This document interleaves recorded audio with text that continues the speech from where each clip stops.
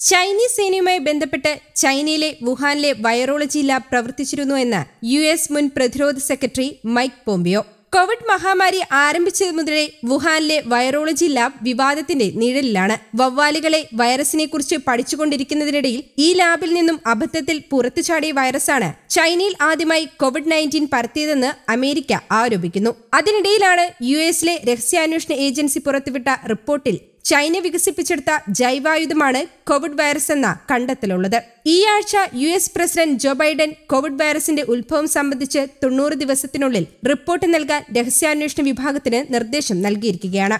സാധാരണ ഗവേഷണത്തിന് പുറമെ വുഹാൻ ലാബിൽ ചൈനയുടെ സൈന്യത്തിനു വേണ്ടിയും ഗവേഷണം നടന്നിരുന്നു. ചൈന ഒരിക്കലും ലാബിന്റെ പ്രവർത്തനങ്ങൾ പുറത്തുവിടാൻ തയ്യാറായിരുന്നില്ല.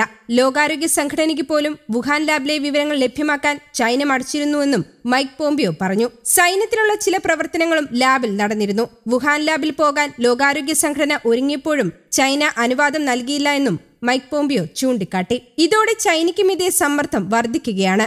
ചൈന ലോകത്തെ മുഴുവൻ ശാസ്ത്ര സമൂഹത്തെയും വഞ്ചിച്ചെന്നാണ് ശാസ്ത്രജ്ഞന്മാർ ആരോപിക്കുന്നത്. News desk Kerala Kaumudi.